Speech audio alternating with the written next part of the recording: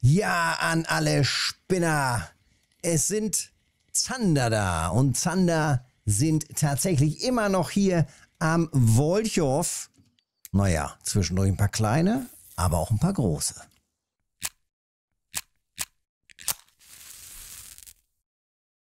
Also, ich teste jetzt hier eine knappe halbe Stunde schon und äh, hatte jetzt quasi die Morgenstunden hier mitgenommen und jetzt haben wir schon mittlerweile Mittag und äh, ich hoffe jetzt gleich nochmal auf die aktiven Abendstunden. Da geht meist nochmal so ein bisschen mehr auf dem Zander.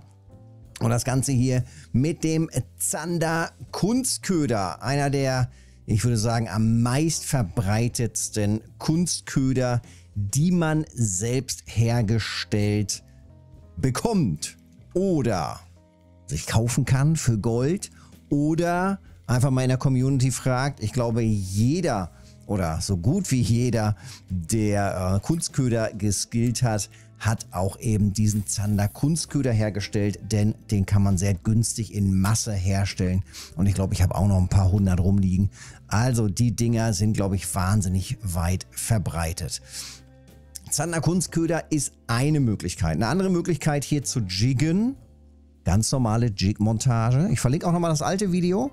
Äh, ich stand hier schon mal vor ein paar Wochen, auch mit einem kleineren Setup. Passendes Setup ab Level 20. Einfach vielleicht nochmal reingucken. Hier schön auf Zander.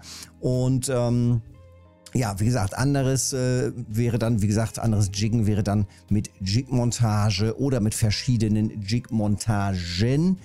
Gummifisch. Was sich da immer wieder lohnt, ist der Provoker. Ähm, Provoker in weiß, beziehungsweise eben auch Tiny Fish, Tiny Fish 06 in weiß oder die Quicker, 4,5er Quicker. Wir gucken gleich am besten nochmal rein in die ganzen Kunstköder oder wir machen das jetzt, denn mittags ist meist ein bisschen Flaute.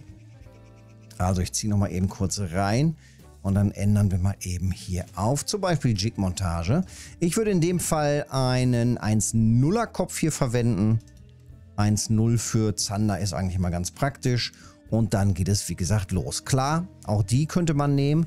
Wobei mein erster Test auf dem Grün war sofort ein Wels und die will ich ja jetzt hier gerade nicht haben. Deswegen bin ich danach sofort weitergegangen. Also das wäre natürlich wieder eine Möglichkeit. Lynx Minnow, ähm, Zander gerne in weiß oder in gelb mal testen, klappt immer wieder ganz gut. Dann auch die Maggots gerne mal mit reinnehmen. Aber was eben wirklich regelmäßig gut funktioniert, ist der Provoker 06 und ähm, der Quicker in Pink oder in Grün. Klappt auch immer mal wieder ganz gut. Aber auch da die anderen Farben ruhig mal äh, testen, je nach Wetter. Und dann eben hier der Tiny Fish. Also das sind, glaube ich, so die wichtigsten Zanderköder, die immer wieder gut funktionieren. Nehmen wir einfach mal eben den Tiny Fish. So, da ist er. Und ich werfe hier locker raus.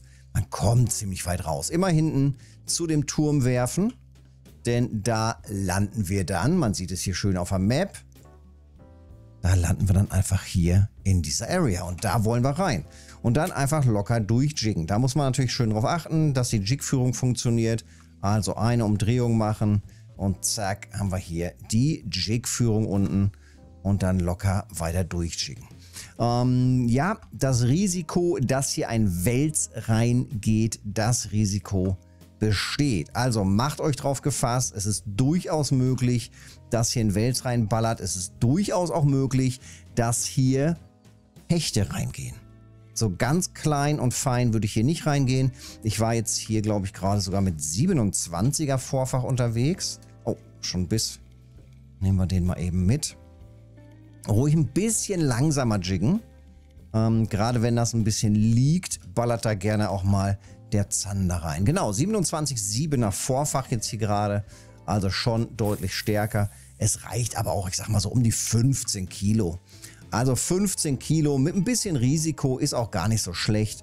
Vor allem ähm, ist man da ein bisschen feiner unterwegs und hat vielleicht, ähm, hat vielleicht noch ein bisschen eher die Chance, ähm, dass man da noch einen selteneren Zander bekommt. Apropos vom Verhalten, Zander und Wels. Das ist schon mal ganz ähnlich. Der verhält sich hier gerade fast wie ein Wels. Könnte aber auch ein Zander sein. Ich vermute, es ist ein Zander. Aber es kann eben auch ein Welt sein. Die legen sich gerne auf den Grund, machen sich schön extra schwer, alle beide. Ähm, wenn es halt ein sehr großer Wels ist, dann merkt ihr das, keine Sorge. Aber die fetten Zander, ja, die machen das halt auch gerne mal. Einfach schön auf den Grund legen und dann nichts mehr machen. So, komm ran hier. Ist es ein Zander, ist es ein Wels? Ich nehme sie beide mit. Ja, vielleicht doch noch ein Wels. Oder ein richtig großer Zander. Das wäre natürlich der Hammer. Und es ist... Jetzt komm rauf hier. Es ist echt ein Wels. Eieiei, es ist echt ein Wels. Mann, Mann, Mann, Mann. Ja, überleg mal. Der jetzt hier auf kleinem Setup, der hätte schon Bock gemacht. Aber wie gesagt, mit 27 Kilo, da geht das. 11 Kilo Wels. Ja, schönes Ding. Direkt wieder rausgeworfen hier. Noch ein paar Mal durchjiggen. Das läuft doch so schon mal ganz gut. Ja, wie gesagt, vom Setup her, ähm, wir gucken nochmal gerade eben rein. Also 1-0er Haken, die verschiedenen Köder. Wenn ihr könnt, gerne ein bisschen stärker reingehen. Ansonsten, wenn man hier zum Beispiel mit der Kammermächter unterwegs ist und der HSV, dann, na, ich würde sagen, vielleicht bis zu 19 Kilo. 19 Kilo Schnur, 19 Kilo Vorfach, das reicht in der Regel. Also es kommt schon relativ selten vor, dass hier ein äh, Hecht reinballert. Und dann muss der Hecht ja auch noch sehr groß sein, dass er ein 19 Kilo Fluorocarbon-Vorfach durchbeißt. Das heißt, das muss mindestens so ein, so ein 8 Kilo Hecht schon mal sein, dass er das locker durchbeißen kann. Oder so ein bisschen über, über 8 Kilo. Ähm, dann wird es langsam eng. Ähm, die kleineren Hechte, und ich sag mal, diese mit, mit über 8 oder 9 Kilo herum, die sind schon relativ selten. Also dies hat man ja nicht so häufig. Mal so ein 3 Kilo Hecht, aber den wird man auch mit einem 9 Kilo Vorfach locker reinziehen. Und der wird es in der Regel auch nicht durchbeißen, das Vorfach. Das wird schon funktionieren. Ja, Jiggen auf jeden Fall üben. Das ist hier natürlich wichtig, das A und O. Äh, an den Abendstunden aktiv sein. Tagsüber, ihr seht es gerade hier, viele kleine Zander dabei. Ähm, und dann eben in den Abendstunden hier um die 4 Kilo ist es, glaube ich, ganz interessant. 3, 4 Kilo Zander, die nehmen wir gleich gerne mit. Ich schaue natürlich auch gleich nochmal kurz in den Kescher rein, wie das denn finanziell ist. Denn äh, Zander lohnt sich. Ich war vorhin schon kurz am Archipel und am Archipel vom Land aus hatte ich auch schon so ein paar Zander dran. Aber das war dann bei äh, etwas schlechterem Wetter, war es dann auf einmal ganz vorbei. Da war eine halbe Stunde war gut und auf einmal war wieder Ende. Das ist natürlich nicht so cool. Ähm, Werde ich aber demnächst auf jeden Fall nochmal testen und gucken, wenn das da läuft. Dann gibt es da auch nochmal ein Zander-Video vom Archi vom Land aus, also ohne ein teures Bootsticket für 100 Silber, sondern einfach so von der Base aus guckt.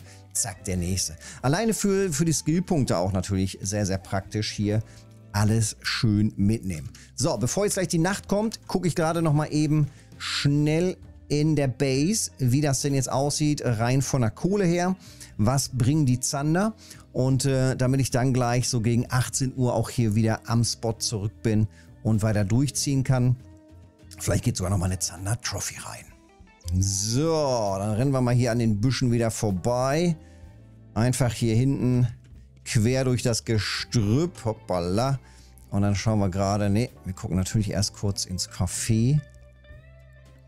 Zander, jawohl, einer mit 1,5, den nehmen wir natürlich gerne mit. 2,5 da haben wir die ersten 40 Silber doch schon im Sack. Zander schmeckt einfach. Und dann gucken wir hier nochmal kurz rein. Zack, also 25, 25, 20.